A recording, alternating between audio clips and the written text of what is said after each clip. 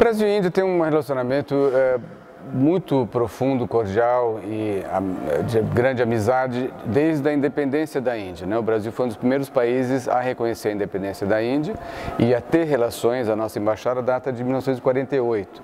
De maneira que é um relacionamento uh, sólido, denso e muito uh, aprofundado também pela coincidência de posições em questões globais.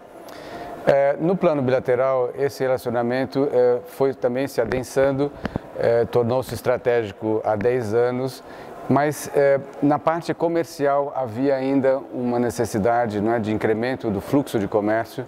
Eu acho que com o que nós temos conseguido né, de acesso ao mercado para produtos brasileiros na Índia, e de abertura para investimentos, com a assinatura de um acordo sobre investimentos, isso, isso tenderá a dar um impulso novo. Então, eu estou confiante de que Brasil e Índia inauguraram uma nova fase de cooperação, onde os investimentos que eram potenciais agora estão chegando e as ideias chegaram aos resultados concretos. A bilateral com a Índia colocou o Brasil e a Índia num patamar diferente de relacionamento. Nós temos resultados agora concretos por pelo menos mais quatro anos para desenvolver em áreas distintas como energia, defesa, saúde, agricultura e ciência e tecnologia.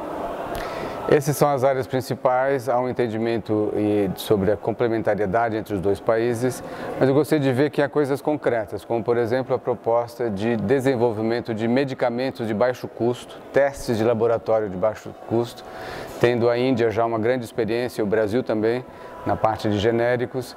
Acho que essa é uma iniciativa muito válida, porque dará resultado para as populações mais vulneráveis de medicamentos e de testes é, a custos mais baixos.